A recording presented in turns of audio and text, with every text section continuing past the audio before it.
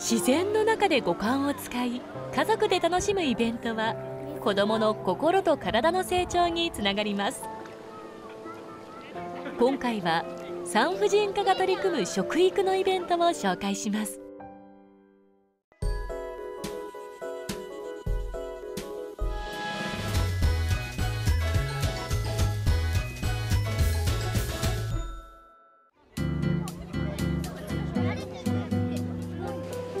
田病院母と子の農園では毎年ドロンコ交流会が行われています。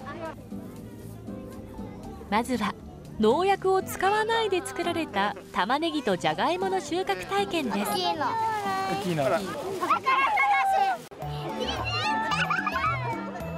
いよいよ田植えのスタートですドロンコ交流会は今年で31回目食べることの大切さを伝えたいと。福田病院で生まれ小学1年生となった子どもとその家族を招待しています。普段何気に食べてる私たちが食べてるお米がですねどういう過程でどういうふうに作られているかっていうのを肌で感じていただこうという思いです。私が小学校3年ぐらいの時ですねこういうふうに田植えをさせていただいたんですけども水はきれいで冷たくて泥に入る感触はやっぱ今になっても忘れませんよね。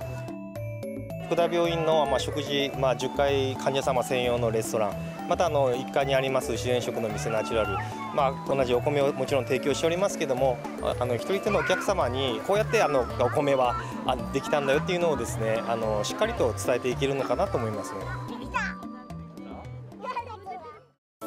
植えたりするところが楽しかったです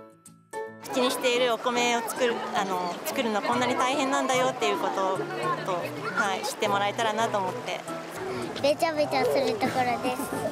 楽しいです。好き嫌いがね少しでも減ってねちょっと残さずお腹いっぱいでもちゃんと食べてもらうといいですけどね。